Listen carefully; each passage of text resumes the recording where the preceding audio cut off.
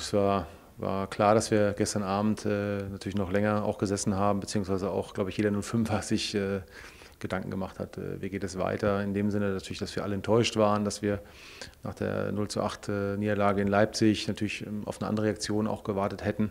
Ich glaube, es hat jeden beschäftigt. Äh, jeder ist mit, mit, mit vielen, vielen Dingen im Kopf nach Hause gefahren.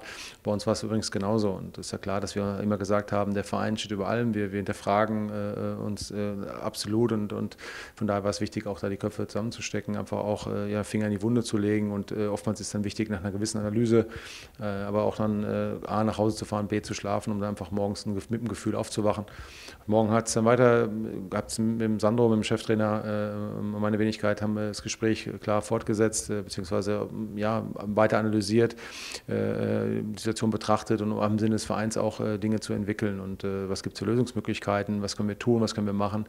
Und da ist einfach auch ähm, ja, ein Gefühl auch entstanden, dass es einfach in der Form dann nicht mehr weitergeht, dass wir, dass wir ähm, was Neues ähm, machen möchten äh, im Sinne des Vereins und ähm, natürlich äh, hochemotional äh, das Gespräch, weil, weil man gemerkt hat, dass natürlich beide klar im Sinne des Vereins wirklich ähm, durch dick und dünn gehen und auch schon gegangen sind und das natürlich nicht leicht fällt, ist ja vollkommen klar und trotz allem war es so, dass wir ja ähm, für die Sache einfach entschieden haben, es nicht zu tun, weil äh, ich glaube schon, dass jetzt dahingehend einfach an der Zeit ist, einfach aufzurütteln. Sandro hat diesen Verein gelebt, geliebt, seine Spieler gelebt, geliebt, hat mit seinem Fachwissen, mit seiner Akribie, Emotionalität alles für diesen Verein wirklich bis zum Schluss gegeben. Ähm, ähm, das äh, kann man nicht hoch genug betrachten und unterstreichen.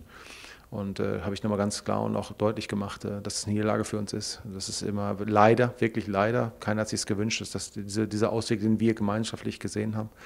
Und dass es einfach jeder einfach auf seinem Revers heften hat. Genau wie, wie ich persönlich auch, wie jeder andere auch. Das muss man genauso sehen. Und äh, dass man es äh, jetzt einfach an der Zeit ist, einfach besser zu machen, auch im Sinne des Vereins. Und da ist jeder gefragt und ähm, dass man hätte eine andere Antwort geben können äh, am gestrigen Tage. Und äh, Sandro hat sich dann auch nochmal von der Mannschaft dann auch emotional auch verabschiedet und, und zeigt einfach, was für ein ein äh, herausragender Typ und Mensch er ist, Charakter. Und ähm, ja, ist ein bitterer Moment.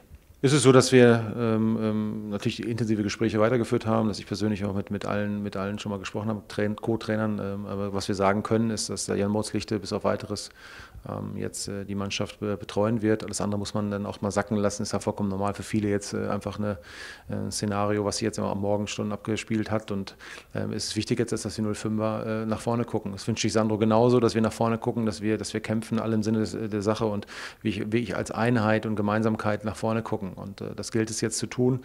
Ähm, und äh, von daher, das ist zu sagen, Jan Moos Lichte bis auf weiteres. Und äh, jetzt ist halt auch die Suche nach einem neuen Cheftrainer.